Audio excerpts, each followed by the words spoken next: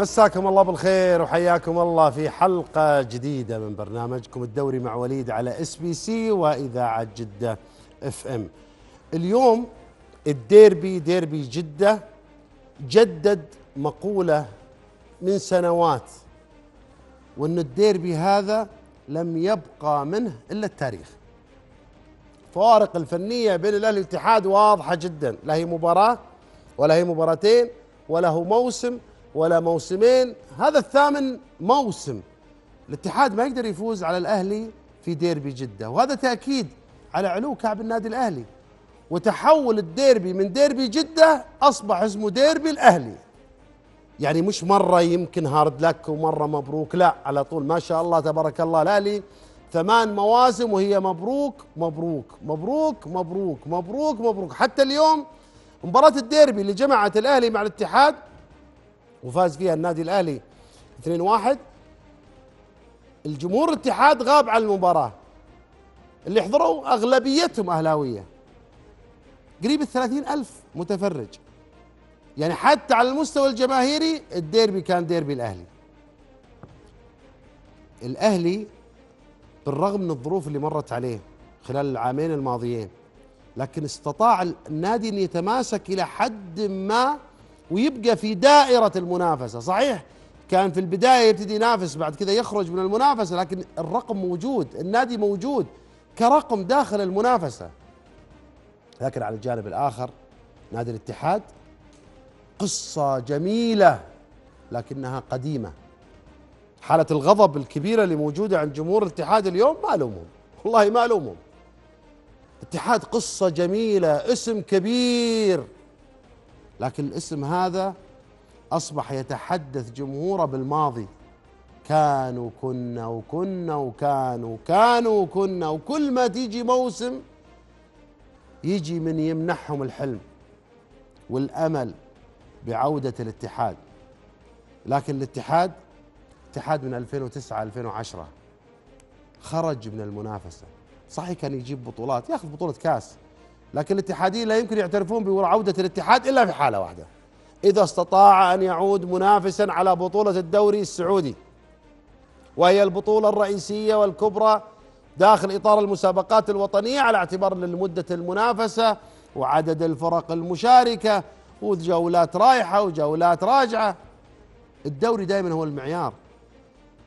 تخيل الاتحاد السنة الماضية كان عيهبط وشكله السنة هذه على اللي إحنا شايفينه يمكن يروح لهذه المنطقة. مجرد وجود الاتحاد في منطقة تهديد الهبوط لموسمين متتاليين يثبت إن القصة انتهت.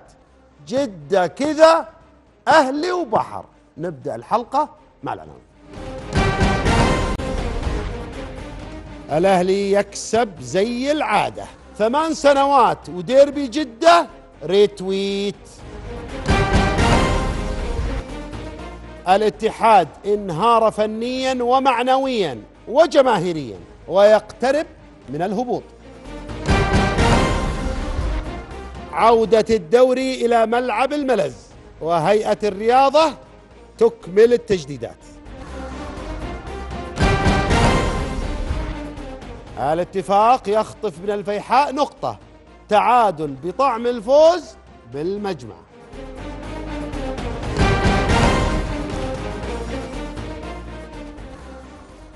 حياكم الله من جديد الدوري مع وليد على SBC وإذاعة جدة. ضيوف اليوم موسى المحياني ومعنا الخبير والمستشار التحكيمي كابتن محمد فودة عبر الأقمار الصناعية من الرياض الزميل العزيز عادل التويجري.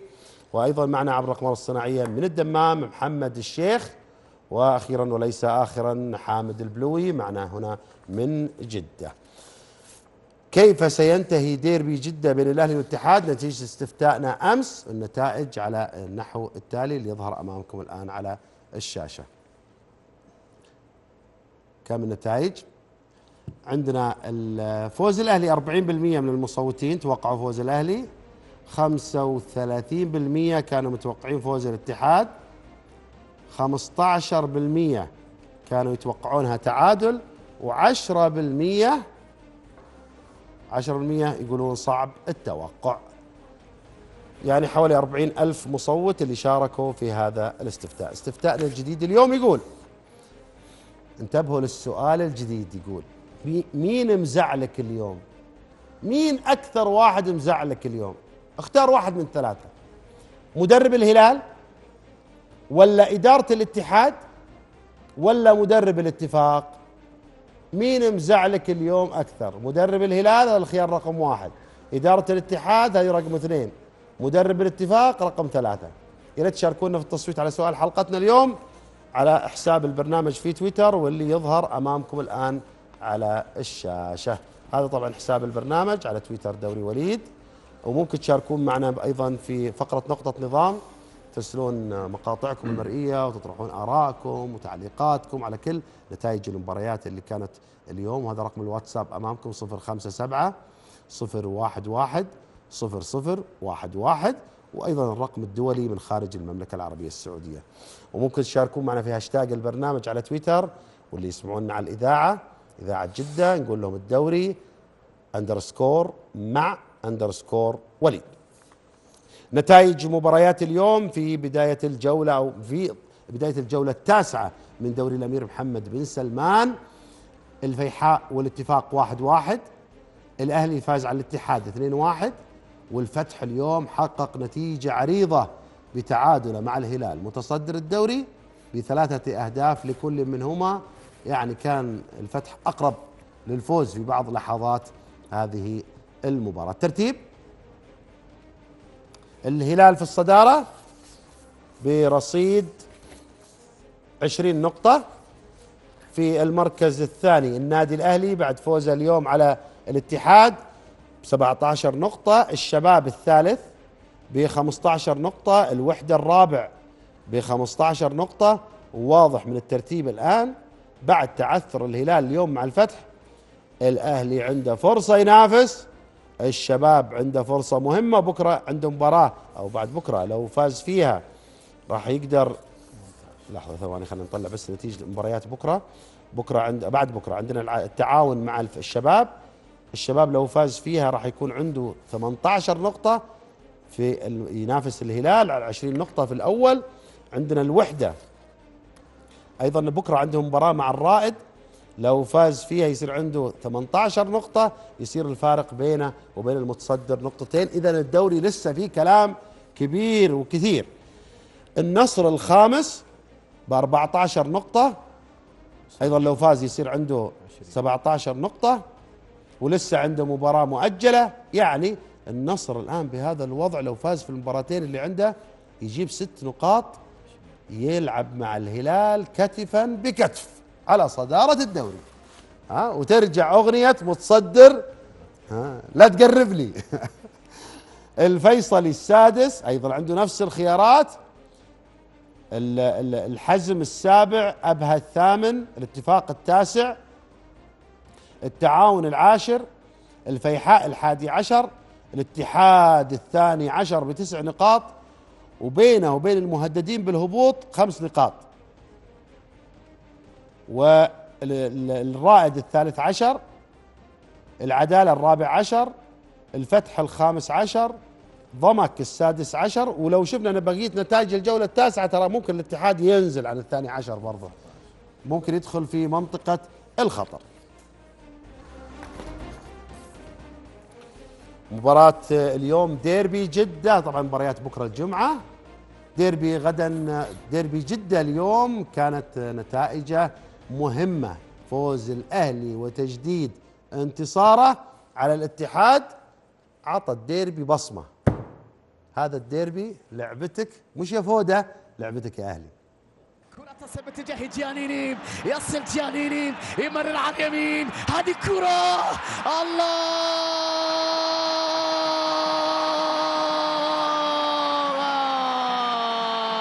اللقطة الماضية اللمسة اللي كانت من جانب جانيني.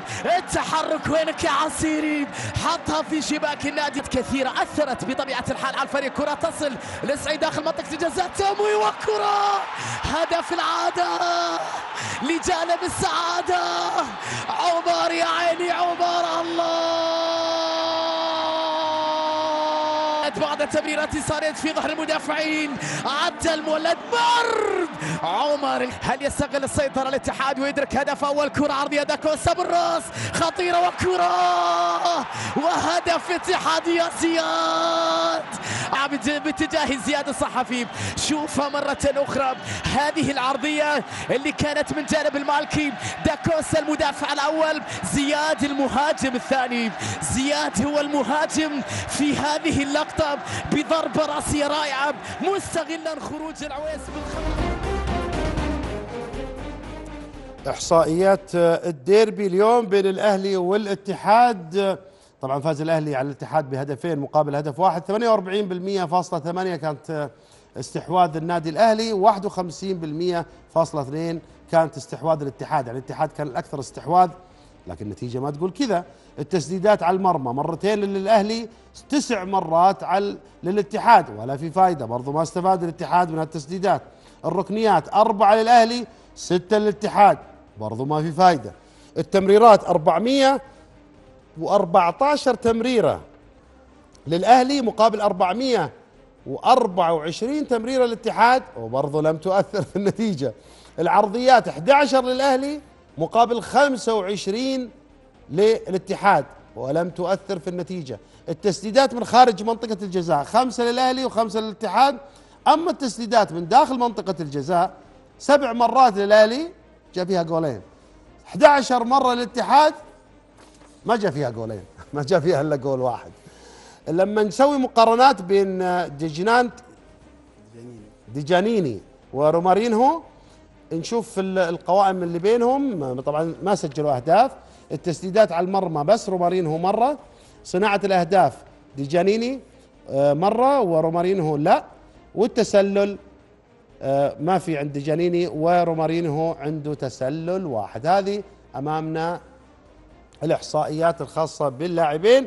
أما إحصائيات الحراس اللي هم محمد العويس وفواز القرني فطبعا آه، فواز القرني تلقى هدفين والعويس تلقى هدف واحد.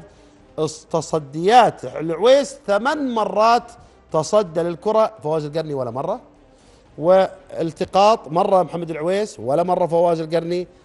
لكمات لكمات الكرة طبعا ولا مرة للعويس ولا مرة لفواز القرني. هذه إحصائيات مباراة الديربي لجماعة اليوم الأهلي والاتحاد وانتهت فوز النادي الأهلي زي العادة في ديربي جدة بهدفين مقابل هدف واحد. صوت الجمهور مع نقطة نظام. خلنا نتابع.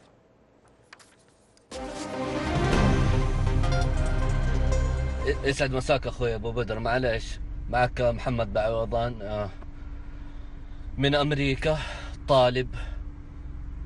أرسلت مقطع على الرقم اللي أرسلته حق نقطة نظام لكن ما وصل. أكثر من مرة أرسل. الله يرحم لي والديك. الله يرحم لي والديك. أرسلت لك مقطع. فضلا لا امرا. فضلا لا امرا. إذا قدرت تنزله ما حسوا فينا. قسما بالله إحنا في أمريكا. إحنا في أمريكا. 14 طالب. 14 طالب عندنا اختبارات اليوم ميد تيرم والله كنسلناه عشان نتفرج مباراة الاتحاد. ما ما محسين فينا. والله قهر نبغى نبكي. الله يرحم لي والديك وصل لهم وصل لهم الطلب. وصل لهم الطلب خليهم خليهم يحسوا. ولا انهم بيحسوا حتى. معلش ما حسينا بفوز الأهلي مرة ما حسينا بطعم فوز الأهلي. كله من قرصه وتغيراته اطلع ظهير ألعب ظهير أطلع بلاي نجم الشوط الأول ألعب المؤشر آه، فتيل محور عندك المقهوي وعندك نوح الموسى. أنا ما أدري جالس يسوي فأنا أتمنى إدارة الاهلي تلحق عليه. ألف مبروك للنادي الأهلي. حظنا وفر الاتحاد وزيد الصبر عندك. جزاكم الله بالنور السرور وخسارة رابعة على التوالي ونزيف نقاط مستمر والعقدة زالت مستمرة. إلى متى هذا حالنا؟ سؤال أتمنى من إدارة نادي الاتحاد إنها ترد علي. والله تعبنا والله تعبنا والله تعبنا. إذا أنتم ما أنتم مقدرين هذا النادي العريق وهذا وهذا وهذه الجماهير العريقة اتركوا المجال لغيركم. والله تعبنا لاعبين بلا هوية وبلا روح. والقيمة الفنية في اللاعب الأجنبي في الاتحاد هي الأسوأ من بين الأندية في الدوري السعودي. إلى متى هذا حالنا؟ والله تعبنا.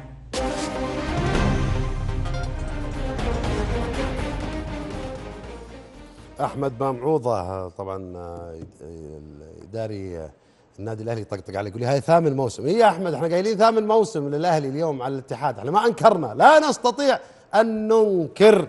وعموما بالنسبة للمشاهدين يعني أنا ما الوم المشاهدين يحبون الكورة وعاشقين لها بس يسعد جوك يعني. خليك مع باجة ما هي الراعي حق الفقرة اسعد جوك مع باجة. خلينا نسمع أيضا نقطة نظام ونسمع صوت الجمهور مرة ثانية.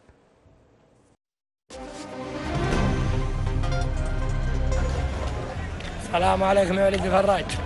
من قلب ملعب الجوهرة. مبروك لكل أهلاوي وهارد لك لكل اتحادي. حبينا بس لو تسأل موسى المحياني سؤال واحد. وش سبب تراجع أداء النادي الأهلي في الشوط الثاني؟ يعني أداء الأهلي في الشوط الثاني في الحضيض. ما تدري هو سبب لياقي ولا تكتيكي ولا إيش اللي حصل إحنا ما ندري لكن الحمد لله عادت على خير ومبروك لكل أهلاوي. إيش نقول بس؟ إيش نقول؟ يا وليد. الاتحاد سانوغو طلعوه. آه رودريغيز لاعب سريع طلعوه. تجيب مكانه خيمينيز. لاعب دقيقة 18 خلاص مو قادر. فيتشو اليوم الدقيقة 18 مو قادر. فيلاني ما منتهي يا أخي غير يا أخي. النادي أكبر منهم. عندي فرضية بسيطة جدا. شلون أنت تطبخ وتحط كل المقادير بس ما تحط ملح؟ تصبح طبخة؟ أكيد لا. طيب شلون أنت يا العبدلي تلعب خمس مهاجمين بدون صانع لعب؟ أتمنى تكون في إجابة مقنعة يعني. مساء الخير. عندي سؤال للأخ محمد آل الشيخ. يقولون إنه إعلامي محايد. قلت أسأله السؤال هذا. من هو كبير الرياض ومن هو كبير جدة طلع اليومين هذه كلام كبير الرياض كبير الرياض كبير جدة ومدري ويش فالسؤال له يقولون بحكم إنه إعلامي محايد. أتمنى يجاوب شكرا.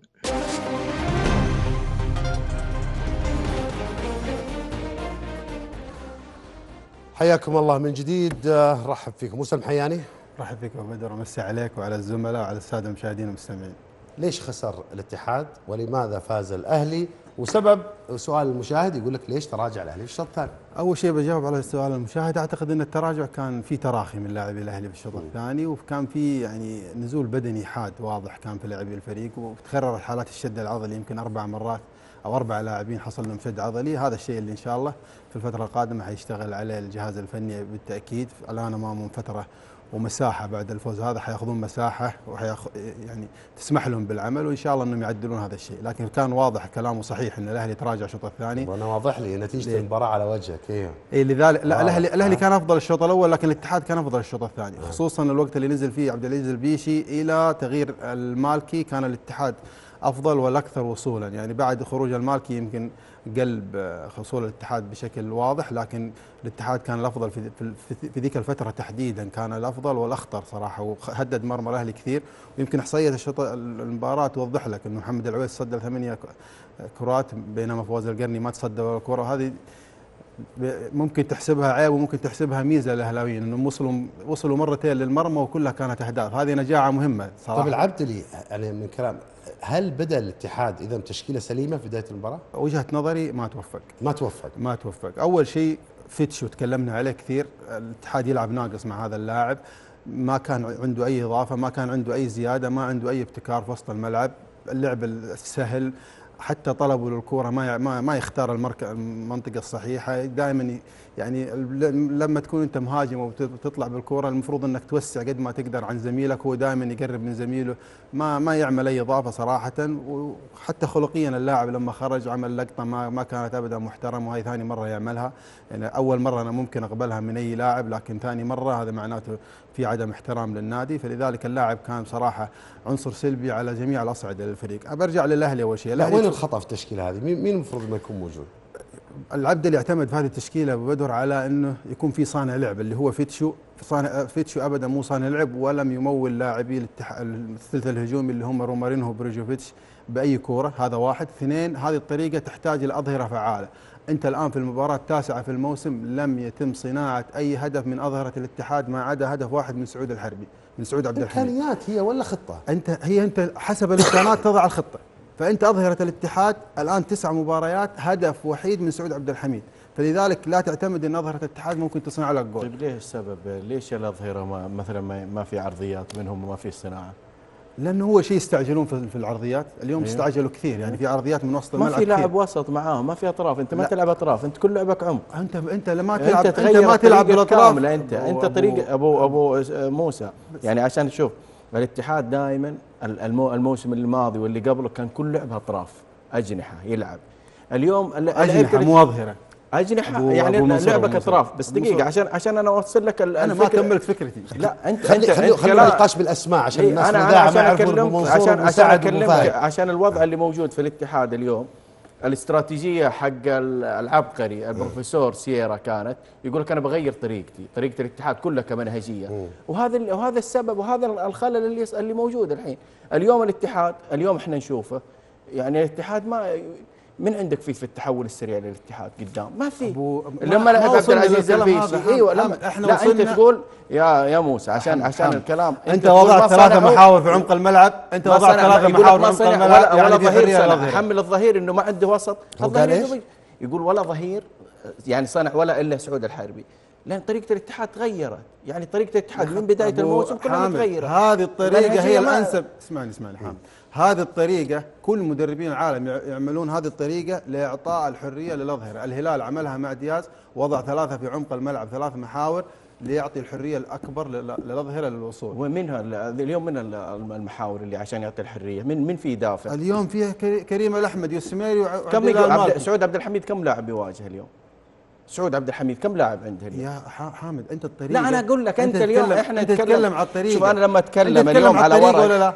اليوم أنا أتكلم على الملعب على أرضية الملعب موسى اليوم اليوم أنت شفت الاتحاد إيش إيش إذا أنت ما عندك؟ لعيبة فعالين حامد إذا ما عندك لاعب فعال في العمق أكيد انه في الاطراف حيكون في زيادة عشان كذا شوف سعود عبد الحميد أنا أقول لك يوصل. للظهير يوصل طيب. للظهير ما فيها أحد قدام يكمل معاه إلا يرجع يرجع لعمق الملعب. في تشوف في أكثر من كرة يعطيها طيب سعود هو متفقين إحنا إحنا متفقين بس أنت إيه جايبها بطريقة لا أخرى. أنت تقول أنت انت تقول يعني الخلل ما هو في الخلل في المنظومة في طريقة اللعب. أوكي. ما هو في العناصر في طريقة اللعب. يا أخي أنت إمكانات العناصر أنت إمكانات عندك إمكانات عناصر طيب. أنت الحين ابو أبو بدر سأل عن الط- الطريقة هل الطريقة صحيحة أو لا؟ أنا وجهة نظري إن الطريقة ما كانت صحيحة. ليش؟ لأنه ما كانت فعالة مع العمق وما عندك لعيبة فعالين أو مبتكرين في العمق هذا واحد. اثنين الأظهرة اللي أنت معتمد عليها أثبتت إنها ما عندها ذيك الفعالية اللي انت اللي أنت طيب. تطمح لها خلي خليني بس اخذ أبي آخذ تعليقات سريعة بس من الضيوف وأرجع لك. موسى عادل التويجري تعليقك على نتيجة المباراة. متوقع يا أبو بدر. تعبر عن حال الفريقين في مباراة مغرق الغرقان أكثر. آه، قرص مع الأهلي لو كانت غير كذا كان حيدخل في مشاكل واليوم ما قدم الأهلي ترى مستوى كبير جدا. يعني من اللقطات اللي شفتها بكل صراحة أنا ما تابعت المباراة بحكم لا أنا أبغى منك تعليق على نتيجة. المباراة بدون تفاصيلها الداخلية. لكن النتيجة آه، لا غرق الغرق آه، الغرقان أكثر. إدارة الاتحاد أدخلت ال- الاتحاد في كل هذا الملف الخطير جدا. أعتقد الإدارة الاتحادية الآن فعلا تعاني بشكل كبير جدا. طيب محمد الشيخ؟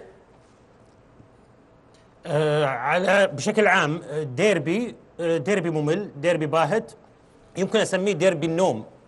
آه، على مستوى الفريقين الاتحاد لا زال يبحث عن نفسه بينما الأهلي يبحث عن هيبته. موجود ولكن فاقد الهيبة. الاتحاد غير موجود تماما. خليني أروح ل- لفاصل سريع بس نرجع نكمل مع ضيوفنا. فاصل وبعد الفاصل. ديربي جدة غاب الاتحاديين والأهلاويين. ثلاثين ألف تقريبا.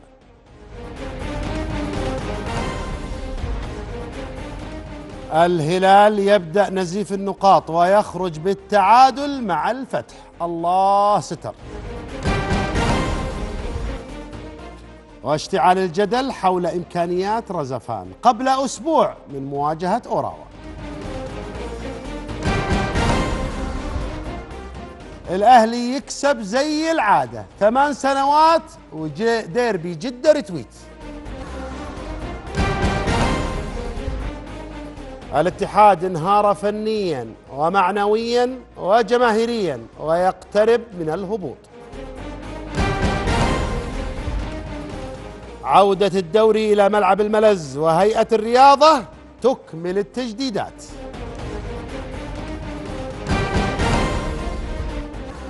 الاتفاق يخطف من الفيحاء نقطة نقطة تعادل بطعم الفوز في المجمع.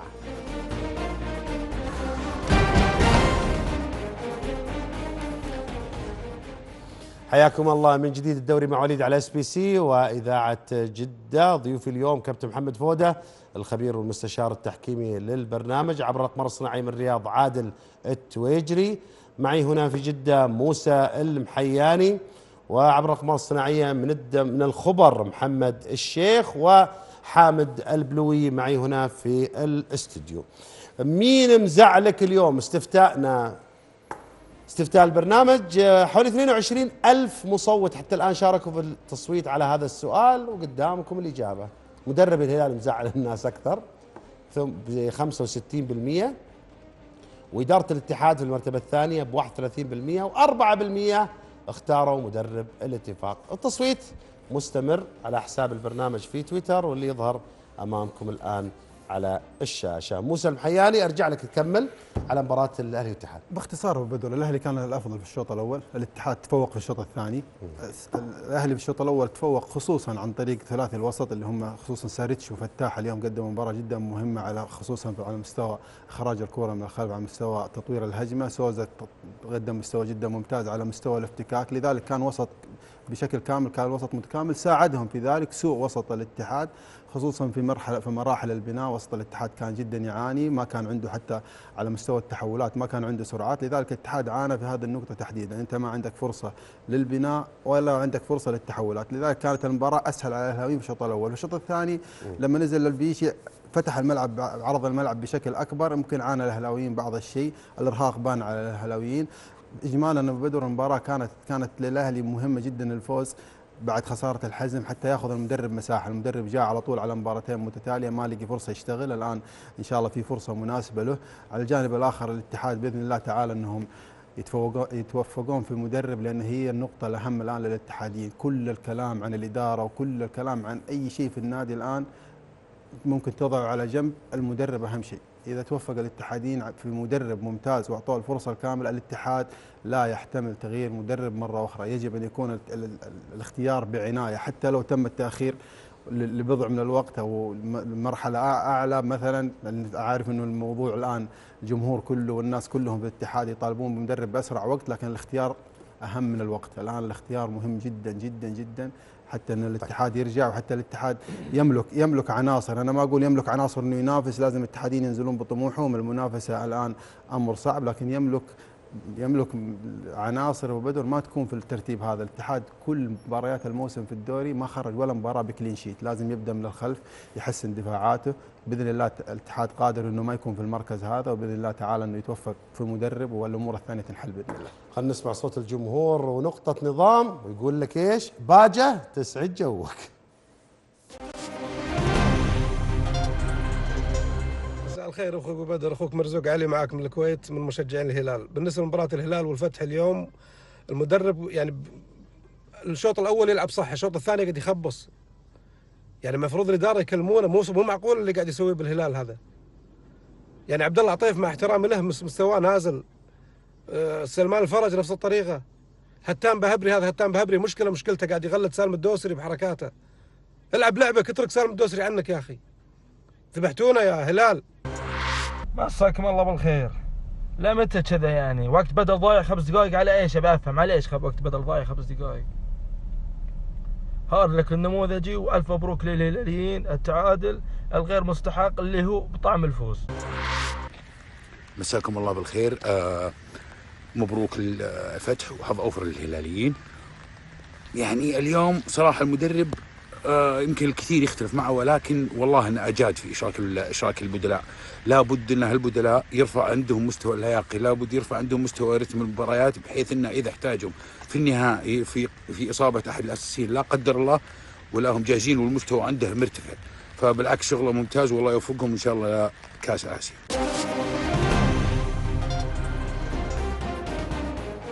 وليد آه، دويرج على هاشتاج الدوري مع وليد في تويتر يقول أبو بدر أعتقد حان الاعتراف يعني حان الوقت للاعتراف اعتراف جماهير الاتحاد بقيمة فهد المولد وأنه كان شايل الفريق وبدونه ما قدر الاتحاد يروح بعيد. حامد البلوي. بالله بسألك سؤال. كذا سؤال بس بداية ال- أنت رجال كنت مشرف كرة في عز الاتحاد.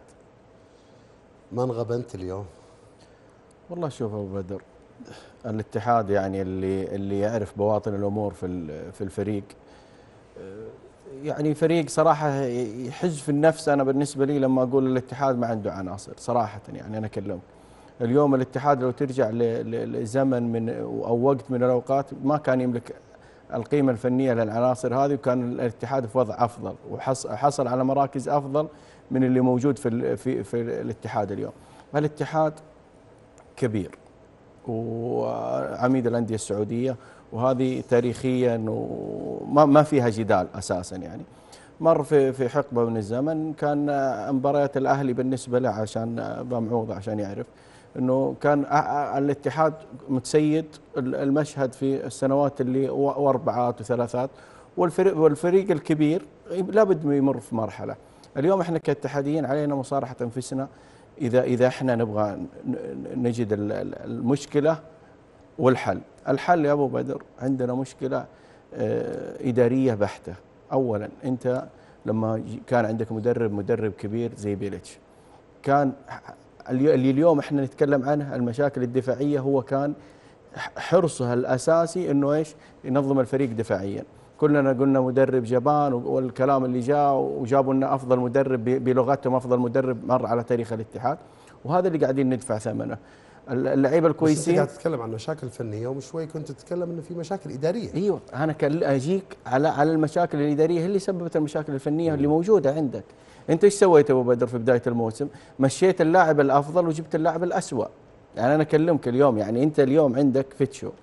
إيش قاعد يسوي؟ إيش قاعد يسوي في الملعب؟ ما هو قاعد يسوي شيء.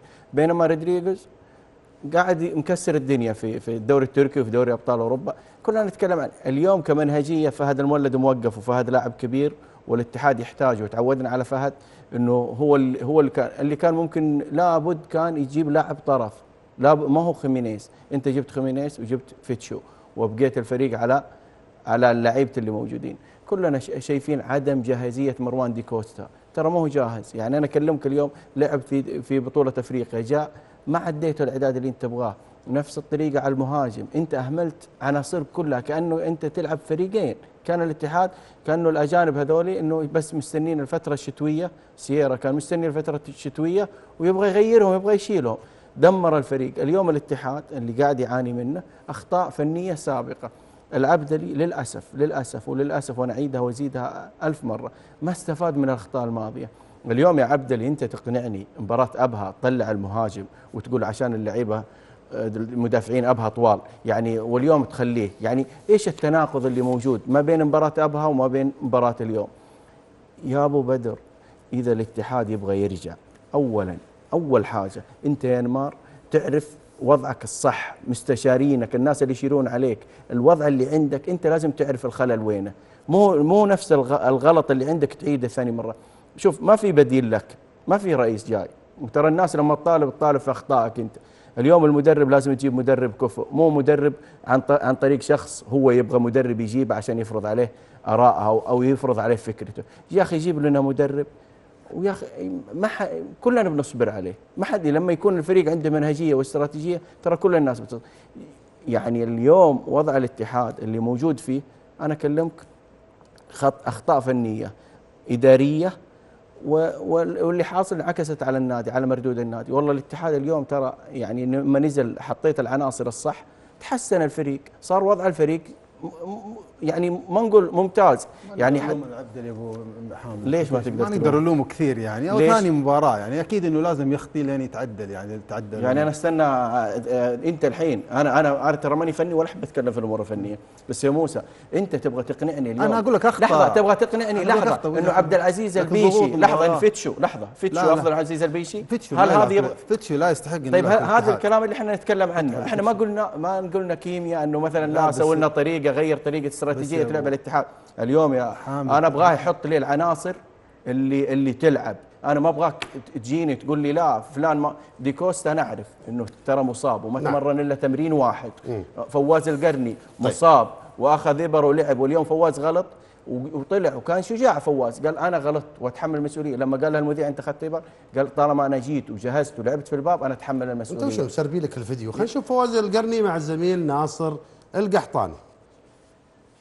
الرحيم ثاني شيء. الحمد لله على كل حال. آه كرة القدم دائما ما تكون توفيق. آه اليوم توفيق ما كان حليفنا ضيعنا كذا فرصة في الشوط الأول. آه الشوط الثاني وصلنا. كنا أفضل. آه لكن الله ما رد.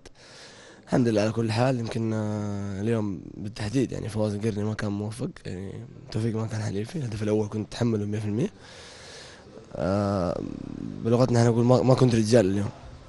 فهذا الشيء أنا أعترف فيه وأتحمل المسؤولية.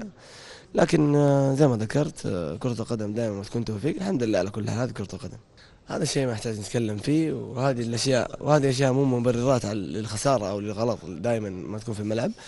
دامك تحملت مسؤولية لازم تكون قد المسؤوليه هذا الشيء ما ينذكر قدام ال- الإعلام ابدا. تحملت مسؤولية اليوم لكن الله ما وفقني. الحمد لله على كل حال. هذا شيء من إمكانياتي. ما له صلاح المرض ولا له صلاح التعب. الحمد لله على كل حال. إيش إيش الإصابة اللي عندك؟ آه خليها للجهاز الطبي إن شاء الله بكرة يبان كل شيء بإذن الله. عساف مصاب فواز مصاب الجمهور يبغى يعرف يعني إصابة عساف okay طيب الاحتياط برضه فواز؟ زي ما أنت عارف أنا اليوم كان المفروض ما أشارك في المباراة وطبعا أحس ان المباراة كانت آه، نوعا ما كبيرة على مش كبيرة يعني أمين حارس منتخب وشارك في كأس العالم أتوقع آه، كان يقدر يشيل يتحمل المسؤوليه اليوم لكن ما حسيت إنه آه، المفروض يلعب اليوم. آه، كنت آه، جدار أتوقع للغلط. آه، أتوقع إنه في مباريات آه، أخرى ممكن يشارك. آه، اليوم كانت مباراة كبيرة جدا جماهيرية فيها ضغط عالي. أتوقع إنه تحملت مسؤولية فيها الحمد لله على كل حال. الاصابه تحديدا في الظهر الإصابة؟ في الظهر الحمد لله على كل حال. إن شاء الله يبان بكرة بإذن الله. تأخذ إبرة في الظهر يعني إصابة يعني أنت خاطرت بنفسك. الحمد لله على كل حال. القادم أجمل بإذن الله. هذا مو مبرر ابدا. آه زي ما ذكرت دامك تحملت مسؤولية لازم تتحمل مسؤولية بمعنى الكلمة. اليوم فوز ما كان آه، موفق في الهدف الأول. زي ما ذكرت لك هذا الشيء ما ما, ما يتدخل ابدا في الإصابة أو الحمد لله على كل حال. أخيرا الاتحاد بدأ يخش مرحلة خطيرة زي بداية الموسم الماضي بدأ ينافس على الهبوط. ذكرت بعد المباراة إحنا لسه في بداية ال- الدوري. آه، قبل المباراة كان الفرق بيننا وبين الأهلي ثلاث نقاط 14 وتسع نقاط. لو فزنا كنا بنعادل في النقاط أو فرق نقطة. أتوقع أنه فارق النقاط آه، قريب جدا بين الأندية كلها. أتوقع زي ما شفنا اليوم آه، الفرق كلها عندها تخبطات في المستويات في الدوري. لكن الحمد لله على كل حال يعني أنت زي ما تتكلم ديربي اليوم ما- ما في توقعات. آه الأهلي جاته فرصتين سانحة التسجيل استغلها بكل ما تعنيه الكلمة من معنى. الاتحاد جاته كذا فرصة الشوط الأول الشوط الثاني لكن الله ما أراد الحمد لله على كل حال. حامد البلوي تعليقك؟ والله شوف أنا زي ما قلت لك. ليش ملعب؟ ليش إيش اللي يعاني منه قصدي؟ والله ما أنا بس اللي اللي عرفت إنه عنده إصابة يعني في الظهر وأخذ ابر يعني ويعني عساف كان مصاب فجازف بنفسه إنه يعني لعب لمصلحة الفريق. بالنسبة المفروض يعني يفترض إنه ما ما كان يكون في مخاطرة فيه طيب في سؤال اللي كان من الجمهور المشجع اللي هو وليد اللي على هاشتاج الدوري لما قال لك فهد المولد فرق مع الاتحاد فرق. طيب أنت بدر اليوم أنا لو عندي سبعة اجانب مميزين. أربعة أكملهم. لو يكونوا مكملين هي ها الاتحاد هي هينافس. لو سبعة أجانب. أنت اليوم السعوديين هم اللي شايلين إيش؟ الأجانب للأسف. يعني هذا هذا هذا هذا حال الاتحاد. بالنسبة للعبدلي أنا عشان عشان أنا أتكلم كخيارات. أنا ما أطلب من العبدلي إنه شغل فني داخل الملعب. أنا أختار اللاعب الكويس حطه لنا. إحنا ما ما نقول نحملك فوق طاقتك بس لعيبة أصلا هذا اللاعب نفسه فيتشو مسوي قبل كذا إنه إذا رحلت يا, يا للمدرب إذا رحلت أنا سوف إيش؟ كلنا سوف نرحل إحنا فريقك معلق عليها، يعني طبيعي إيش؟ إيش بيصير؟ ما حيعطيك، طلع في الملعب سوى لنا فيلم برا الملعب كأنه ثاني مرة يسوي، وبكرة يا العبد اللي هتطلع تبرر له، لا يا أخي هذا هذا عاقب يا أخي ثاني مباراة الوصل برروا له وجابوه مصورين إنه محتضنين وكذا، يا أخي إذا غلط والله لا عاقبه عاقب، أنت إيش سويت؟ إيش قاعد تقدم لي في الملعب؟ مين؟ عاقب اللاعب اللي في أي فريق؟ اللي فريق الاتحاد يعني. اذا واليوم اللي فاز مين؟ الأهلي فنقول للأهلي إيش؟ مبروك الأهلي يعزف لحن الانتصار وهزيمة الاتحاد مستمرة من 2012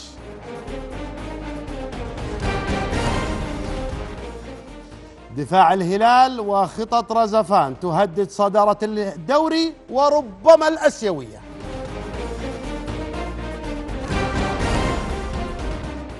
الفتح يحاصر المتصدر ويتعادل معه بالثلاثة في قمة الأول والخامس عشر. الفيصلي يواجه ضمك وأمير عسير يجتمع مع اللاعبين ويطلب الفوز. والرائد عينه على الوسط ويقابل الوحدة في مواجهة كل الاحتمالات.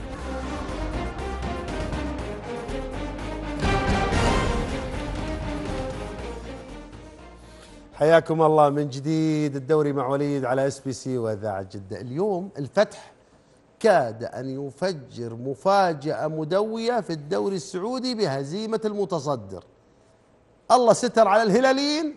انتهت المباراة ثلاث ثلاثة. بس هذه النتيجة قرعت الجرس للهلال قبل أسبوع من مواجهة فريق أوراوا في ذهاب المباراه النهائيه لدوري أبطال آسيا. أعتقد الهلاليين يمكن بعد مباراة النصر حطوا يدهم على قلوبهم.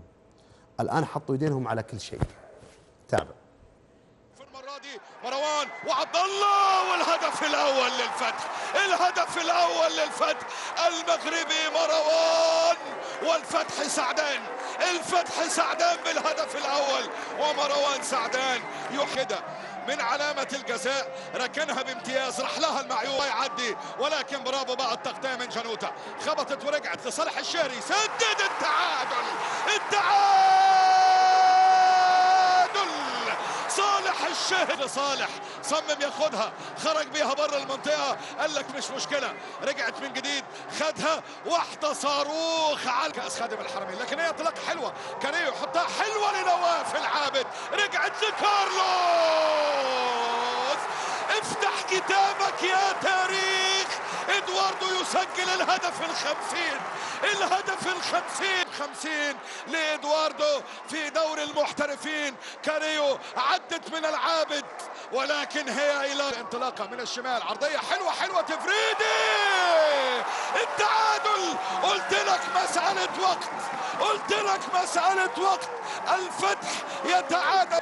ميشيل تفريدي ادي المرور وادي الاختراق وادي الباصة وادي ميشيل تال يلعب واحدة عالية لكن الشهراني يرجعها بالخطأ هي لسعيد يسندها والثالث للفتح والثالث للفتح ميشيل تفريدي. الفتح يقلب الطاولة على الهلال يدها بكعب قدمه إلى تفريدي اللي يسجل الهدف الثالث ثلاثة اثنين. آه. وهنشوف. جوميز. وكوفال وبافيتيمبي يسجل التعادل للهلال. الأسد يتعادل للهلال. عشان ترجع عشان ترجع المباراة من جديد. لم تنتهي بعد. لم تنتهي بعد. وشئت أم أبيت. حتى والهلال ليس في أفضل حالاته. عادل التويجري نتيجة الهلال اليوم. هل نقدر نسميها طبعا مع تقديرنا واحترامنا لنادي الفتح اللي قدم اليوم واحدة من أجمل مبارياته وقاعد يتجاوز الأزمة اللي مرت فيه. بس نقدر نقول نتيجة الهلال اليوم هي من توابع زلزال الديربي؟ لا ما أعتقد يا أبو بدر. أعتقد إن آه، حالة ثقة غير مبررة تعالي غير مبرر. اليوم رزافان تحديدا خبص في شكل فريق بشكل كامل. أنت عندك غيابات أكثر من تسعة لاعبين بعضها آه أوكي للإصابات لكن الجل منها لا ما هو صحيح. اللي يتحمل الجزء الأكبر اليوم آه بكل صراحة هو الجهاز الفني في الهلال. آه بدأ المباراة بتشكيلة خاطئة لم يتدخل يشوف العلة واضحة قدامه إما في منتصف الميدان أو حتى في خط الدفاع.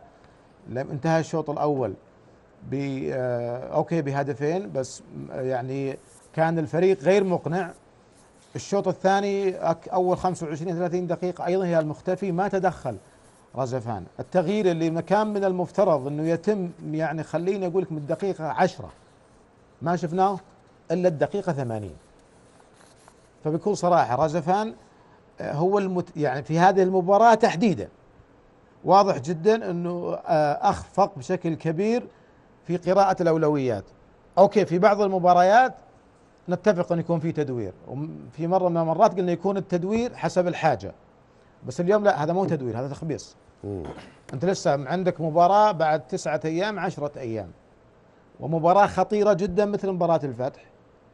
أنت already خسران. وكل الفرق الآن بدأت تقرب بشكل كبير جدا من الهلال. آه، خسران آخر يعني آخر ثلاث مباريات. خسرت في مباراتين آه، آه، تعادلت في مباراة تسجل في المرمى الهلالي تسع أهداف فقط في ثلاث مباريات في آخر ثلاث مباريات سجلت ستة.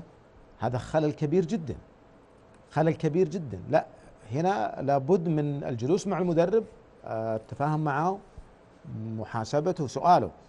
السؤال لا يعني بكل حال من الأحوال إنك تقصيه.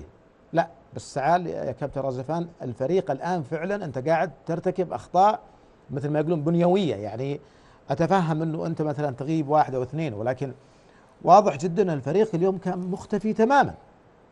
اللي يتحمل هذا الجزء الأكبر بكل صراحة هو المدرب. نجي عند اللاعبين لا آه، في أكثر من لاعب عليه علامة استفهام اليوم. على الأقل خليني أقول لك الروح الجدية عند عند اللاعبين. يعني أنت خسران مباراة قبل أربع خمس أيام. المفترض الطبيعي جدا يكون في ردة فعل. انسى تخبيص المدرب. انسى إيش سوى المدرب. بس أبغى ردة فعل في الميدان في الملعب. بشكل حقيقي أنا على المستوى الشخصي بكل صراحة أنا ما شفت الكلام هذا. ما حسيت إنه فعلا يعني آه، يريد أن يعود. لا. آم، حالة ارتياح حالة تراخي سجل هدف بعدين أوكي جاب التعادل بعدين آه، آه، تسجل الهدف الثاني في الشوط الثاني تحديدا. 20 25 دقيقة لا الهلال سلم الميدان كله للفتح. يعني لو كان الفتح ضغط من بداية الشوط الثاني كان مهيئ أيضا أنه أنه يسجل. حال الاحتفاظ بالكرة تمريرات خاطئة. ال- المؤشر الهلالي الكيرف الهلالي الآن بنزول ونزول حاد جدا. فيجب تدارك الوضع حتى لا تخسر كل مكتسباتك. طيب. في نهاية الأمر عندك أخطاء؟ الحلول؟ أعتقد ما هي صعبة جدا. إطلاقا ما هي صعبة جدا. تبدأ منين؟ باختيار التشكيلة الصحيحة. هذا مثل ما ABCD تختار التشكيلة الصحيحة ثم تعالج الأخطاء اللي عندك. اليوم هو استمرار لكثير من الأخطاء ولكن الحقيقة اليوم اللي شفناه لا. كان في عك كروي بسبب تدخلات ال- رزفان طيب محمد الشيخ يعني اليوم كابتن محمد دعيع الآن غرد آه، يقول غياب سبع لاعبين وتجهي وتجهيز بعض اللاعبين للمباراة المهمة الآسيوية. في رأيي إني أتفق مع المدرب في اختياراته وعدم كشف الهوية الأساسية للفريق. أعتبره أمر إيجابي وفي نهاية الأمر يجب علينا جميعا أن نقف كهلاليين الوقوف مع الفريق بكل ما أتينا من قوة. في رأيك آه، تتفق مع كابتن محمد دعيع في هذا التفسير لما يحدث اليوم من الهلال أمام الفتح؟ طبعا أتفق مع محمد في جانب وأختلف معاه في جانب آخر. أتفق معاه أن التحضير للنهائي سواء في الذهاب أو الإياب انعكس على الفريق وأن الفريق بالفعل يحتاج إنه يتوائم ما بين آه، الدوري وعدم يعني أو الخروج بأقل الخسائر في الدوري من أجل التحضير للنهائي الآسيوي. ولكن لا أتفق معه أن هذا التحضير لبطولة آسيا يسبب هذا الارتباك والفوضى في الفريق. يعني أنت سألت عادل قلت له هل انعكاسات الديربي؟ قال لك لا هي ثقة غير مبررة. لا لا لا لا. هي مش ثقة هي ارتباك وفوضى. ارتباك من المدرب وفوضى من اللاعبين. المدرب أتفق مع محمد الدعيع لا يمكن ما بين مباراة النصر وهذه المباراة تغير خمسة لاعبين أساسيين. وين؟ تغير في أهم مركز يحتاج ثبات مش من مباراة أخرى. غالبا طوال الموسم وهو خط الدفاع. اليوم أنت مغير ثلاثة مدافعين. فضلا عن الوسط والهجوم. أضف إلى ذلك في لاعبين من القائمة شبه الأساسية واللي يشاركون معاك في آسيا مش موجودين. وبالتالي هذا ارتباك من المدرب. هو خايف على البطولة الآسيوية وهذا حقه ومنطق. والإصابات مقلقة جدا. ولكن لما بتسوي التدوير هذا مش بهذه الطريقة. خصوصا وإن عملية الد- التدوير تتم في مراكز صعبة جدا. يعني اليوم ال- ال- ال- عبد الله الحافظ ومحمد جحفلي ما تلعب فيهم على طول من الطبيعي جدا إنه يصير في ارتباك طيب. مركز المحور. أنت معليش كويلار كنو عبد الله سلمان كل مرة اثنين مع بعض كل مرة اثنين مع بعض كل مرة. وبالتالي أحدث هذا الارتباط الفوضى من اللاعبين. أنا كل لعيبة الهلال أنا في وجهة نظري ومثل ما قلت لازم أقول نجوم. ولعيبة الهلال أفضل في الغالب من جميع لاعبي الأندية. ولكن أنا ألاحظ إن الكثير منهم يبحث عن الب- البروز الشخصي. لأن في لعيبة طاغين في البروز. جوميز آه كذا لاعب إدواردو سالم. طاغين في البروز فالكل يبغى يعني اليوم شفنا نواف شفنا آه بحبري آه. كلهم يبون يبرزون طيب. على واضح. الصعيد واضح. الشخصي واضح. وبالتالي حدثت الفوضى الفريق بحاجة إلى مراجعة الحسابات على مستوى اللاعبين واضح. وعلى مستوى المدرب والتدخل الإداري الأمير منصور بن مشعل المشرف العام على كرة القدم في النادي الأهلي يتحدث للزميل وليد الخضير بعد مباراة الديربي اللي جمعت اليوم الأهلي والاتحاد شوف الخسارة واردة في أي لأي فريق ها الحمد لله على كل حال إن شاء الله ال- ال- القادم أحسن وإن شاء الله بنتناقش مع المدرب في أمور كثيرة إن شاء الله ومع اللاعبين وإن شاء الله أتوقع أن الأمور تتحسن في المباراة القادمة. شكل الدش الساخن اللي أنت أعطيته للاعبين في قبل المباراة جاب نتيجة. والله شوف هو ما وديش ساخن. اللاعبين الحمد لله والشكر لله استوعبوا كلامي وأنا ما أخفي عليك آه، قسيت شوي. بصراحة وزعلت صراحة. لأنه ما هو هذا ما هو مستوى الأهلي. يعني ولا هو مستوى لاعبينا لاعبينا ما شاء الله تبارك الله يعني لاعبين مميزين. وتقبلوا كلامي حتى أنه بعد الحديث تكلمت معهم ما أخفيك اجتمعت مع بعضهم بعد الحديث وقالوا أبدا بالعكس أنت نعتبرك كوالد لنا ومن حقك إحنا نحن يعني نتقاضى رواتب وعلينا مسؤولية ومن حقك إنك أنت ت- يعني تتكلم الكلام اللي تقول. ما كان كلام يعني جارح. يعني أنا قلت ص- صراحة نريد مقاتلين. اللي ما قلت أبدأ قلت اللي ما عنده استعداد يقاتل ها لأجل الكيان لا ما هو معلومة كان.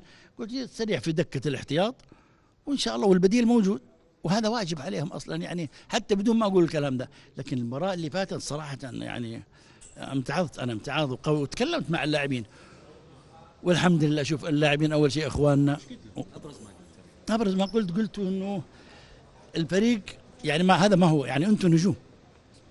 يعني مع احترامنا الفرق الفرق الأخرى أو هي الفرق المتوسطة لاعب من الأهلي قيمته أو قيمة عقده تسوى فريق الكامل يعني صراحة. وهذا ما يصير يعني قلت ما هو يعني ما هو الشيء اللي اللي ممكن أنتم تأدوه يعني بالشكل هذا. أداء سيء شفت المباراة اللي فاتت إيه. فالحمد لله يعني الحقيقة شكروني والله بالعكس قالوا شكرا لك وأنت ما قلت إلا الحقيقة إن شاء الله. وإن شاء الله نتمنى إن شاء الله إنه اليوم الأمير منصور عاد بعد غياب لفترة عن الفريق وليد الخضير سأل الأمير منصور وين كا أو إيش سبب غيابك؟ نقطة أمير أنت لو يعني ال- ال- اللاعبين النجوم يحتاجون قائد. غيابك على الأهلي في المرحلة الماضية أه، بسبب تعبك أو بسبب شغلك أثر على الأهلي. الآن تعتقد أول شيء أول شيء كان عندي أنا كان أنا تعبت. وثاني شيء كان جواز بنتي انشغلت فيها أنا صراحة يعني تعرف. كان تعرف واجباته والى آخره ما ما في شيء إن شاء الله الأمور زينة بإذن الله. طيب أنت كيف شايف جروس؟ والله شوف يعني جروس مدرب سبق ونحقق مع الأهلي بس له له له له وجهة نظر له وجهة نظر لا كنت عتبان على بعض التغييرات يعني فهمتني؟ لكن برضه نتناقش معه هو مدرب كبير ويسمع منا ونسمع منه. وبالطرق الودية يعني فهمت قصدي؟ وإن شاء الله إنه يسمع منا ونسمع منه إن شاء الله ويكون الأمور زينة بإذن الله تعالى. في بعض اللاعبين حتى بدأوا يزعلون من التغييرات ال- ال- للسيد جروس في بعض اللاعبين كانوا يشاركون أساسي مع محمد وكنت أنت تثني والنتائج تثني. الآن ما ما يلعبون مع جروس شوف آه، طبعا أنا من عادتي إني ما أتدخل. في شؤون المدرب لكن طبعا هناقش المدرب في بعض الأمور فهمتني؟ ونتناقش معه ونشوف وجهة نظره. يعني نشوف وجهة نظره ونتناقش معه بصراحة. أنا حتناقش معه طبعا أنا ما أحب صراحة أصرح بالمواضيع دي لأنه هذا واجبي. ونشوف إن شاء الله يعني ليش الاستبدالات وليش وجهة نظر المدرب فهمتني؟ يعني هو أقرب للاعبين منا صراحة. في التمارين يشوف يعني أداء اللاعبين وإلى آخره. بس حنتناقش معه إن شاء الله. أنا بتناقش معه. أمير أنت قلت قبل وقلتها الحين أنه ما في حد كبير على الأهلي. اللي أي لاعب يرفض أنه يخرج أو له ردة فعل أثناء تبديله يا يكون متعالي يا يكون مش راضي على التغيير. شوف لا والله شوف أنا أقول لك طبعا الأهلي الكبير ما في أحد أكبر منه يعني الكيان أكبر من الجميع فهمتني؟ وتعرف اللاعبين برضو لها أعصاب توتر فهمتني؟ يعني تكون مباراة شد فيها فقد يخرج اللاعب عن طوره في بعض الأشياء بس إحنا كمان يعني الله سبحانه وتعالى يغفر صح؟ وبنتناقش مع اللاعبين كلهم صراحة.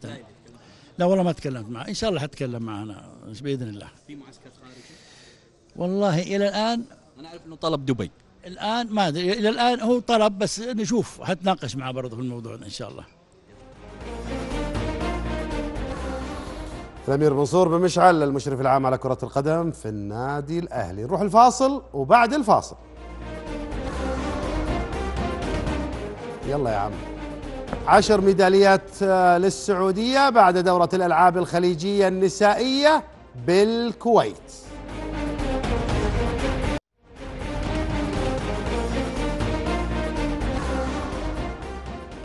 حياكم الله من جديد. مين مزعلك اليوم؟ يا كثرهم اللي مزعلينك.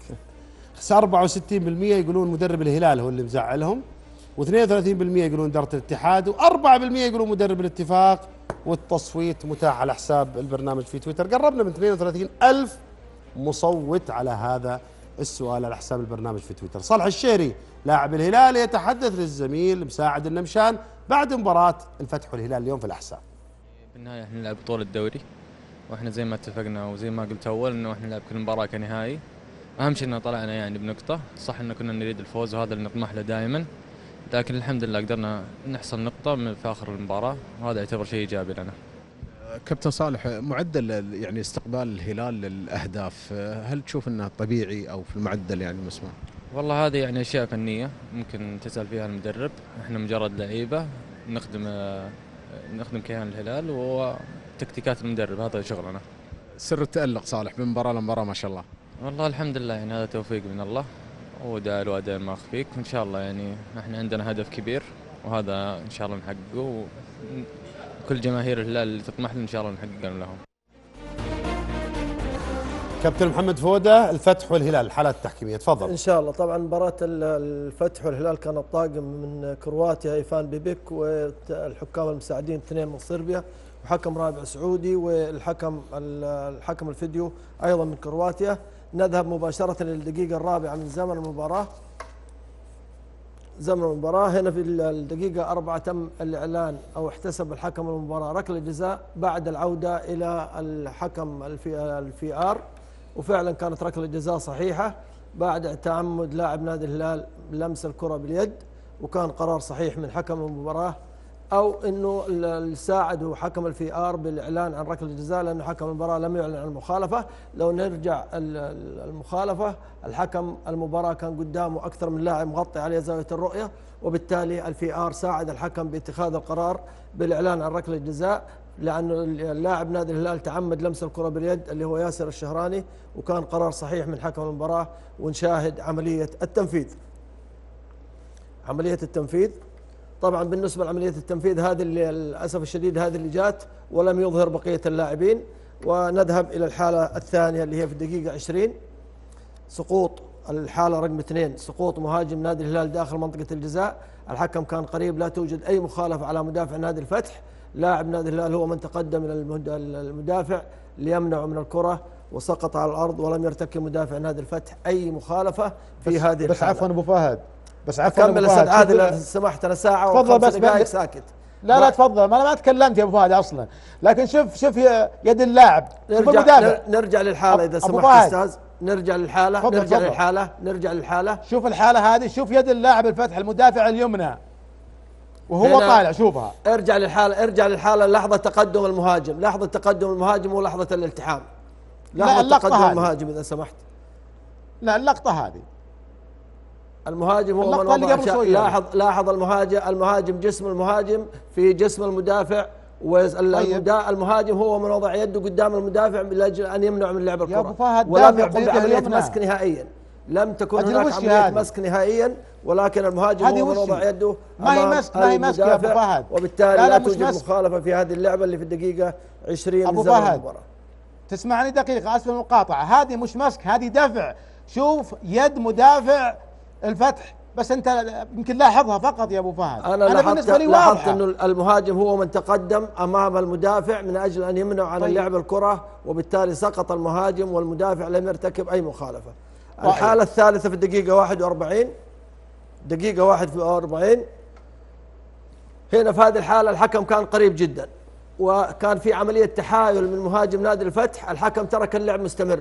هذه الحالة كان يجب على حكم المباراة أن يعلن عن ركلة حرة غير مباشرة ومنح لاعب نادي الفتح بطاقة صفراء لأن اللاعب بعد السقوط لاحظ مدافع نادي الهلال لم يرتكب أي مخالفة وحاول اللاعب التحايل على حكم المباراة. نلاحظ اللعبة هنا مدافع الهلال لم يرتكب أي مخالفة تجاه اللاعب. لاحظ هنا عملية السقوط تحايل مفترض أنه يعلن عن ركلة حرة غير مباشرة وإنذار اللاعب نادي الفتح لكن للأسف الشديد الحكم ترك اللعب مستمر وقام اللاعب واستمر في اللعب واستلم الكرة. الحالة هذه كانت تستوجب إنذار وركلة حرة غير مباشرة. هنا الدقيقة 42 الدقيقة 42 لاحظ الكرة ارتطمت بحكم المباراة نتيجة بعد التمريرة من لاعب نادي الفتح هنا في تعديل جديد في القانون بالنسبة السابق كان الحكم جزء من اللعب لكن أو جزء من الملعب لكن الآن أنه الحكم إذا لمست الكرة الحكم يجب عليه خاصة إذا كانت هناك فرصة لبناء هجمة فهنا على الحكم أن يوقف اللعب ويقوم بعملية إسقاط في مكان التلامس الكرة لحكم المباراة ويبعد لاعبي نادي الهلال مسافة أربعة ياردة ويقوم بعملية إسقاط لصالح لاعب نادي الفتح. لكن حكم المباراة لم يطبق القانون في هذه اللعبة وترك اللعب مستمر. الحالة الدقيقة 91 دقيقة 91 الدقيقة 91 هنا بالنسبة للحكم المباراة أعلن ركلة جزاء لصالح نادي الهلال. طبعا شاهد اللعبة الآن.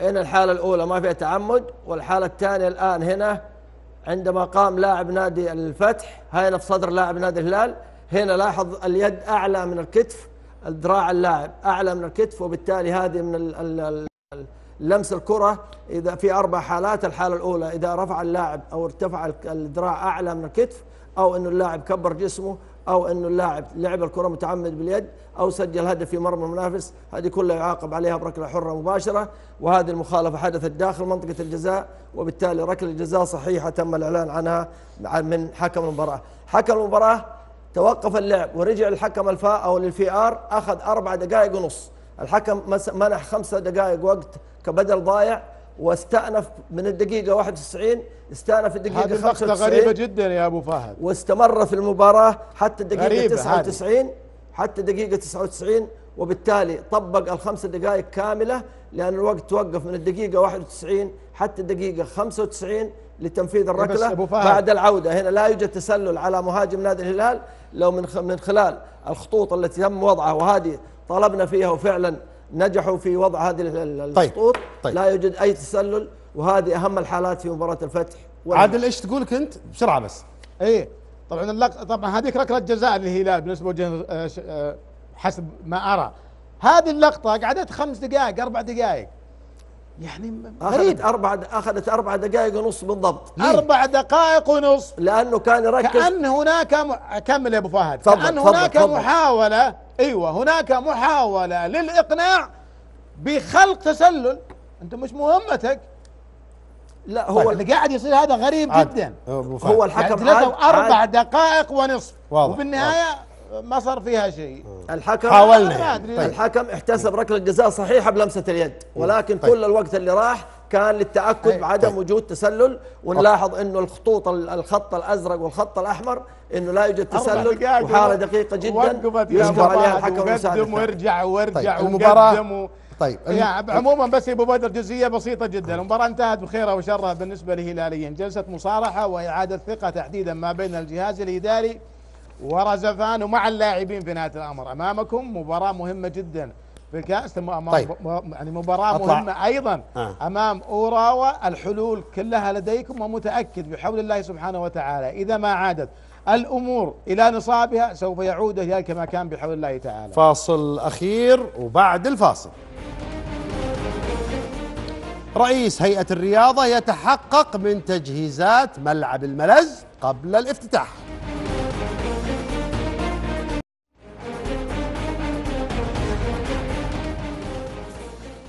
المباراة الثالثة اليوم كانت مباراة الفيحاء مع الاتفاق وانتهت بالتعادل واحد واحد بين الفريقين في المجمع. إلى الآن الأمام لكن لسه لسه لسه لسه لسه بدري لسه بدري الحديث عن موضوع التعادل من عدمه الكرة بتصل إلى أرسينيو عالية طويلة. الله!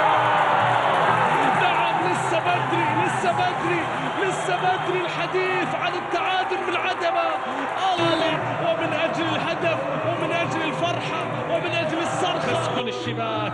الآن كورنر من أجل العودة من أجل ردة الفعل. الله! الله! من أجل الاتفاق يا عيني يا عيني يا عيني. الله! على هذه الكرة على هذه الرأسية. شوف المحاولة تصدى مسلم. ولكن حضر هزاع حضر الفزاع. محمد الشيخ بشكل سريع تعليقك على نتيجة الفيحاء مع الاتفاق؟ استمرار النتائج المخيبة لنادي الاتفاق. الاتفاق كان بيحتاج إلى الفوز وليس إلى التعادل. آه، التعادل آه، أنت قلت في المقدمة بطعم الفوز لا بطعم الخسارة عطفا على الاتفاق فنيا وعطفا على حاجة المباراة. هي على أساس المباراة مقامة خارج أرضه يعني تحت هذا المعيار قلنا بطعم الفوز. لا مع احترامي المباراة خارج أرض أرضه نعم. ولكن قدرات الفريقين وطموحات الفريقين وكل شيء في الفريقين حينما تلعب مع الفيحاء لازم ترجع بالثلاث نقاط خصوصا في هذا الظرف. خلينا ناخذ هذا الموجز السريع لأهم الأخبار الرياضية. أعلنت هيئة الرياضة اكتمال المرحلة الأولى من أعمال الصيانة والتأهيل في ملعب الأمير فيصل بن فهد بالملاذ بالعاصمة الرياض ليصبح جاهزا لإقامة المباريات عليه خلال الفترة المقبلة وذلك بمتابعة من الأمير عبد العزيز بن تركي الفيصل رئيس الهيئة العامة للرياضة.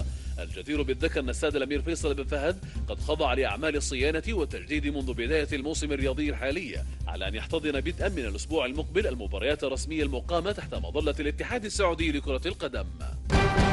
أنهت المنتخبات السعودية مشاركتها في الدورة السادسة لرياضة المرأة بدول مجلس التعاون الخليجي والتي اختتمت بالكويت أمس الأربعاء بتحقيق عشر ميداليات متنوعة ذهبيتان وفضيتان وست برونزية. وجاءت الميداليات السعودية عبر منتخب المبارزة الذي فاز بذهبيتين وفضية واحدة فيما نال التايكوندو فضيتين وبرونزية وفضية ومثلها برونزية لألعاب القوة وبرونزيتين لألعاب القوى لذوي الإعاقة. فيما حصل أخضر كرة القدم للصلاة على المركز الثالث بالمسابقة.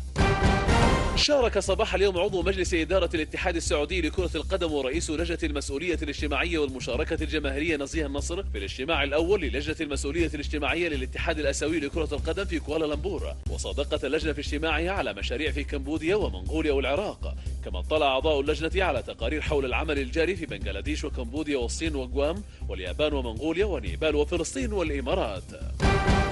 قررت لجنة المسابقات بالاتحاد السعودي لكرة القدم نقل مباراة فريقي عفيف والنصر في كأس خادم الحرمين الشريفين إلى ملعب مدينة المجمعة الرياضية بدلا من إقامتها على ملعب نادي الدرع بالدوادمي يوم السبت التاسع من نوفمبر القادم وذلك بسبب عدم توفر متطلبات الأمن والسلامة في ملعب نادي الدرع. كما قررت اللجنة نقل مواجهة فريقي طبرجة والشباب ضمن كأس خادم الحرمين الشريفين من ملعب العروبة بالجوف إلى ملعب جامعة الجوف يوم الثالث عشر من نوفمبر القادم وذلك لعدم جاهزية ملعب العروبة بسبب عدم الانتهاء من فترة الزراعة الشتوية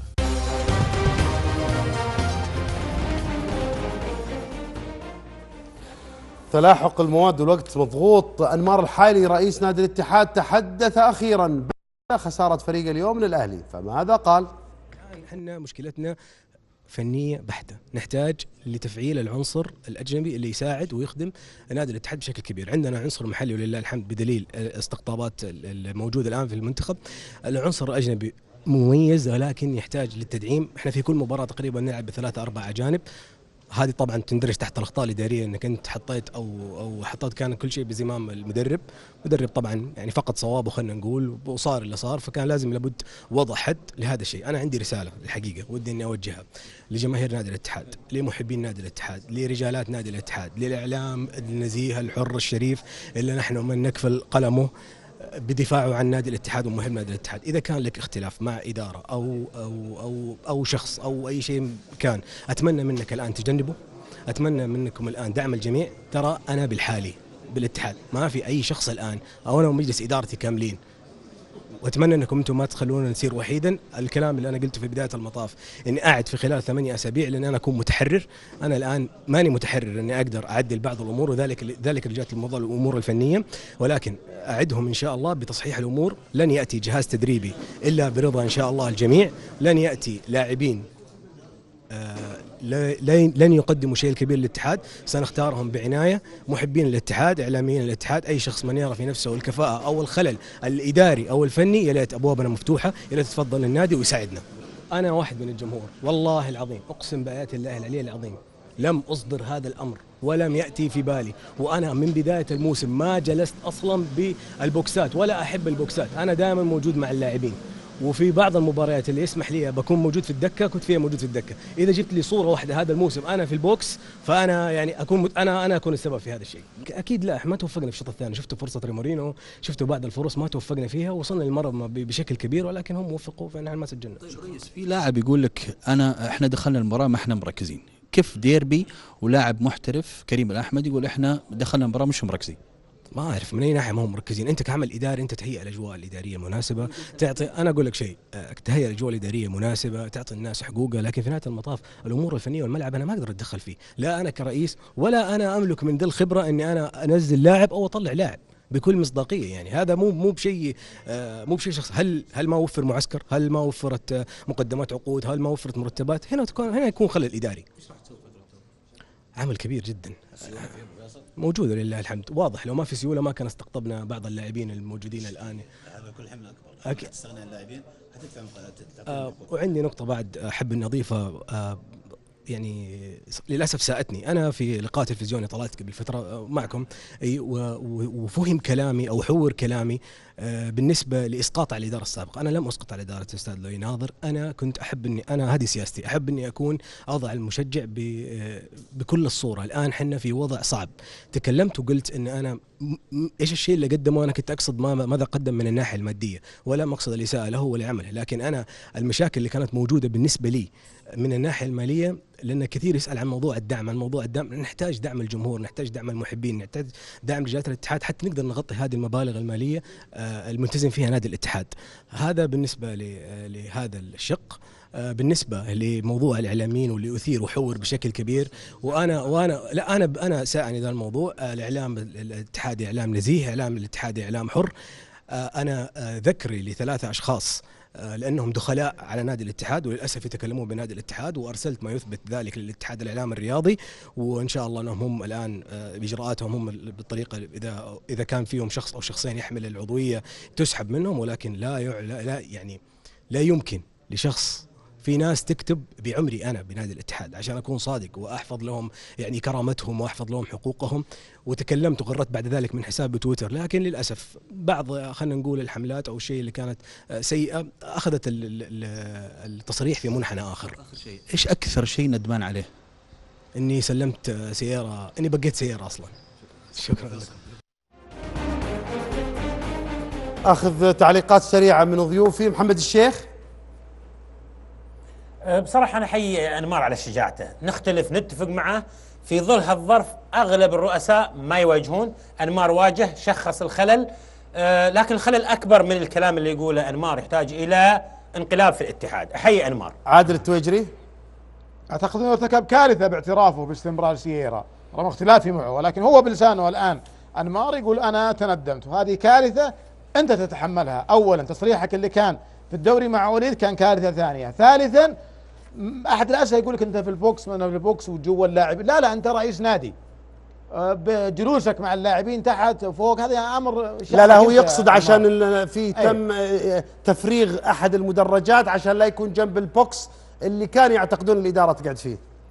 لا لا أقصد إنه أنت في نهايه الأمر حتى يعني بغض النظر عن هذا الجانب. رأي الإدارة ما لها دخل تجلس فوق ولا تحت. يعني في نهايه الامر الأمور الفنية. هو يتحدث ثم يرجع يقول لك أنا ما يدخل بالأمور okay. بالأمور الفنية. ثم يرجع يقول لك ال- القادم إن شاء الله حيكون في okay. تعزيز. السؤال بس دقيقة يا أبو بدر. السؤال هل سترتكب الإدارة الاتحادية أيضا كوارث مالية لاحقا وإلا ستتعامل بمبدأ هادئ جدا وتعيد حسابات الاتحاد لأكبر وأبعد من كون فقط في موسم ولا حا- في موسمين أو ثلاثة؟ حامد البلوي. أبو بدر بالنسبة لانمار في تصريحه هذا يعني شخص المشكلة. و- وأنا بالنسبة لي أقول له أنا أتمنى إنك تشتغل لحالك يعني لحالك. أنت إذا أخذت القرار لحالك أنت هتلقى ناس يساعدونك. اعترافك بالأخطاء بتو- بوجود الأخطاء صدقني هذا هذا هنا الحل. أنت اليوم عرفت الحل وعرفت المشكلة. أتمنى إنك تشتغل لحالك وتجيب ناس ثقات معك. الاتحاد غني برجاله صدقني يا أنمار ما حد بيجيك إلا إذا أنت رحت وطلبت من الناس الاستشارة الاتحاد غني وكل الاتحاديين هيوقفون معك إلا إذا أنت وثق في اللي ما يستحق الثقة. عبد الفتاح عسيري يتحدث بعد مباراة اليوم. النادي الأهلي هارد لك اخواننا في نادي الاتحاد. الحمد لله مباراة اليوم كنا محتاجين الثلاث نقاط وتعرف الديربي دائما صعب. أهم شيء الحمد فزنا والحمد لله اخذنا الثلاث نقاط. بالأرقام آه، يعتبر عبد الفتاح عسيري من أفضل اللاعبين في المباراة. الحمد لله هذا اللي المفروض أكون عليه وإن شاء الله للأحسن إن شاء الله. شفنا في, في من يوم ما جاء قرص عبد الفتاح يرجع مع الظهير يسانده يرجع ياخذ كورة يطلع قدام. والله هذه طلبات المدرب وبالعكس أنا مرتاح بالطريقة دي وإن شاء الله أدي أحسن وأحسن. شفت ان الأهلي بعد انتصار اليوم وتعثر الهلال قرب من المنافسة صار الدوري قريب. والله الدوري لسه يعني ما ما بان من بطل الدوري ولسه في يمكن 21 جولة أتوقع. الحكم بدري اللي يقولون. أيوه مره بدري يعني الفرق كم؟ ثلاث نقاط أو أربع نقاط. فلسه أهم شيء نحن نشتغل وما نفكر نت... يعني ما نقعد نتفرج نخسر ونتمنى في الفريق الثاني يخسر أو كل بيدك وإن شاء الله الدوري لسه في الملعب ليش الأهلي مرة فوق ومرة تحت؟ والله ما أقدر أفيدك بالشيء ده بس أوقات ترى ظروف مباريات أوقات آه، تغير كأسماء الأهلي من اقوى الفرق. اوقات أيوه بس نبغى الشيء ده في الملعب إن شاء الله. يعني الشيء ده نبغى يبان في الملعب. ما نبغى نتكلم الاهلي أسماء وفلان. الكورة دحين ما تعرف آه، لها اسم الفريق فريق- فريق صغير وفريق كبير تلاقي فريق صغير يهزم فريق كبير. فما عاد في فريق فريق كبير أو فريق صغير. دحين في أداء وعطاء في الملعب اللي يعطي هو اللي يستاهل الفوز. انه في لاعبين كاسم فوق وفي الأداء الملعب لا؟ في كثير والله. أنا عشان كذا أقول لك ما هي ما هي بالأسماء. هو بالأسماء كان ما الفرق الصغيره ما تفوز على الفرق الكبيره شو في كلام كثير في تويتر يقولون آه، موسى المحياني يعني عندما كان مدير فريق في النادي الأهلي من أكثر الناس اللي كانوا يحاربون عبد الفتاح عسيري في كلام يقول لك لا إنه كان من أكثر الناس اللي كان يحبهم عبد الفتاح. والله بتسالني أنا بقول لك يعني كابتن. كلام الناس الناس تقول لكن أنت عايش الواقع. عشان كذا أنا ما حقعد أرد على فلان وأرد على ذا كابتن موسى بالعكس يعني ما ما قد شفته أنا حاربني وكابتن موسى ظالمك ما كان شديد معك ما كان يحاربك؟ لا والله بالعكس يعني من الناس اللي وقفت معي مستحيل أنكر لأي شخص وقف معاي أنكر إنه في يوم من الأيام وقف معي فكابتن موسى بداية الأول ما جاء يعني يعني لح علي حتى في العملية يعني أصر إني لازم أسوي العملية اللي في العضلات أسفل البطن. هو من الناس اللي لح وخلاني أسافر ألمانيا ومن إجازتي أخذ. الله يسامحه أقول لك أخذ من إجازتي و وخلاني أسوي العملية ورحت عديت في دبي بعدين لحقت النادي في في النمسا كنا معسكرين وقف معايا في اشياء فمستحيل أنكر له الشيء ذا وإن شاء الله أشوفه من أحسن لأحسن. الله يعافيك. انتهى وقت ياخذ تعليق أخير من موسى المحياني أنا أول شيء بهني عبد الفتاح أول شيء على المستويات اللي قدمها الفترة الأخيرة. بالنسبة للإشاعات والكلام اللي اللي يدور في تويتر أنا تعودت يعني خلاص الإشاعات هذه يعني كثرت في تويتر وأنا عارف إن الزمن كفيل انه يكشفها لو في واحد يسأل أبو بدر أو يبغى يتأكد من معلومة لي- ليفهم أو ليتأكد ما في مشكلة لكن اللي يسألك حقدا أو حسدا أو جهلا فمستحيل تقنعه لذلك أترك الزمن كفيل وأنا أهني عبد الفتاح. عبد الفتاح ولد أصل وهذا شيء يعني ما دام أنه صرح يعني مباشرة بعد ما طلعت الإشاعات اتصل فيا وكلمني وقلت له لا تشيل هم لها لكن ما دام انه تكلم فيها في النهاية عبد الفتاح وغيره ينسون أي اشاعه تطلع عن موسى أنا ما عندي مشكلة. انتهى وقتنا. شكرا, لك موسى المحياني شكرا لك أبو بدر. يعطيك العافية. شكرا لك عادل التويجري. شكرا لك يا بدر. دائما تحدثت ترى أكثر من مرة إنه الموسم لا زال في بدايات وما زال في البدايات حتى الآن. ال- الحلول في الهلال تحديدا تبدأ الآن على الأقل من رزفان وتبدأ أيضا من اللاعبين والإدارة في الحديث مع رزفان حول هذه شو- الأخطاء. الحديث وال وال والنقاش لا يعني التصفية مش معناته عقدوا واضح. في نهاية الأمر. شكراً. عليكم أن تلتموا في مثل هذه التوقيت المهم جدا للهلال. لك حامد البلوي يعطيك العافية. الله يعطيك العافية أبو بدر. بس طول الراحة للفريق ترى لو أنت تفكر في نهاية آسيا وطول الراحة تتكلم عن أسبوعين ترى هذه تأثر على الفريق. طيب. آه محمد الشيخ. شكرا لك. أبو بدر شكرا لك. آه، في بداية البرنامج سأل واحد من كبير الرياض من كبير جدة وفق المعايير الجماهيرية والبطولات الهلال كبير الرياض الاتحاد كبير جدة الاتفاق كبير الشرقية. بالنتيجة دي كلها الهلال كبير آسيا وبالتالي هو كبير السعودية. يعطيك العافية. شكرا لك محمد الشيخ. يظل هذا راي الأستاذ محمد. شكرا لك أبو كابتن محمد فوده التحكيم زعلان منك. لا لا معلش اليوم مشي لي إياها. لا لا مشيها. إيش؟ أنت عم تخنقني في التحكيم. لا لا معلش بكرة نظبطها إن شاء الله. لا بكرة بكرة بكرة عندنا مباراتين ناعمة. فنكمل الباقي بكرة. شكرا لكم. بكرة موعد آخر. الدوري مع وليد. تمسون على خير وشكرا لإدارة SBC اللي تحملت اليوم. أعطيتنا شوي وقت. شوف على خير.